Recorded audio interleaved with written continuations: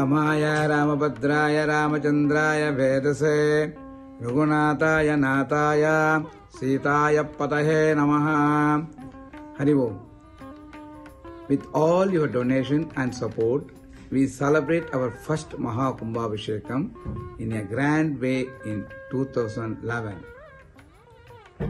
It is a custom to perform the ritual for every 12 years to synergize and unite the mystic powers of the deity. We will be performing Mahakumbhabhishekam from June 21st to June 25th of this year. This year, Lord Rama inspired me to bring him to your home with his padukas and bless your family.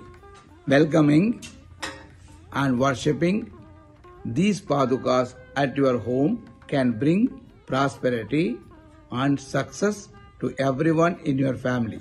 The puja will take about 30 minutes and you can invite your friends and families to attend. While no amount is too small, keeping our large community and the limited slots available in April and May, we plan to do this puja for Pradhan sponsors. I request you to please avail this divine experience and make the Mahakumbhabhishekam another memorable event. Namaste. Sarve Jana Sukhino Bhavantu. Make support. It's our temple. Namaste.